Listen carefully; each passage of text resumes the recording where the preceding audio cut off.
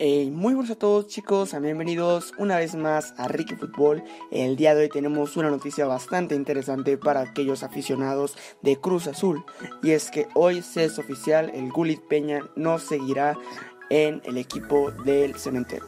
El equipo Cruz Azul ha dicho en conferencia de prensa, Pedro Caixinha ha dicho que no quiere más a Gulit. El Gulit Peña resciende su contrato, no es firmado una vez más y se termina la temporada para él. Pues ha dicho que el, préstamo era con Rangers a Cruz Azul por un año. Ah, por lo cual ahora van solamente seis meses, pero ha dicho que el préstamo se cancela y que Juli Peña no puede jugar ahora con el Cruz Azul, no en su nivel. Sabemos que ha tenido actos de indisciplina, actos que bien no han agradado no solamente al directivo, sino a la afición y son cosas que, bueno, un jugador profesional no debería hacer. Es algo que, pues bueno, mantiene preocupada la directiva, pues Juli Peña sería cesado del club ya que no tiene buenos resultados ni un buen planteamiento futbolístico. Así que por lo cual debería regresar a Escocia y si no es así, pues tal vez incluso buscar algún otro club que le dé la oportunidad.